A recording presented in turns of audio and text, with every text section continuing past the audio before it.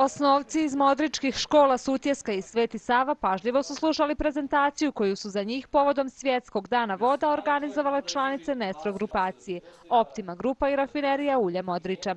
Kolike su rezerve vode, kako stvari iz prirode mogu da utiču na poboljšanje njenog kvaliteta. Samo su neka od znanja koja su usvojili. Naučio sam nekako se pečišćava zagađena voda, da postoji industrijska, pa smo radili u laboratoriji ispitivanje tvrdoće vode, E, da se na rafineriji, u rafineriji Ulja Modrića nalazi više bunara vode koja se koristi u industriji, koja je veoma pitka. Naučila sam kako možemo, pre, kako je voda najveći, najbolji rastvarač uh, za te neke substance i tom hemija mi je sad baš zanimljiva.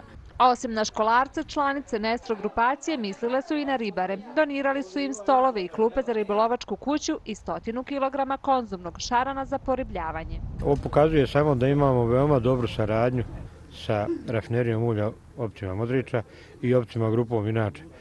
E, zadnje već, već dvije godine redovno e, imamo poribljavanje rijeke Bosne i mi to inače radimo u, u našem redovnom udržavanju. Aktivnosti su dio tradicije povodom Dana voda. Godinama ulažu napore u zaštitu vodnih tokova.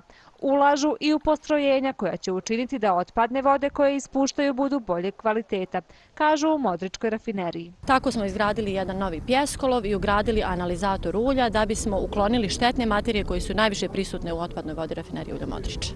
Vrijednost opreme je više od stotinu hiljada maraka. Tu investiciju realizovali su u prošloj godini.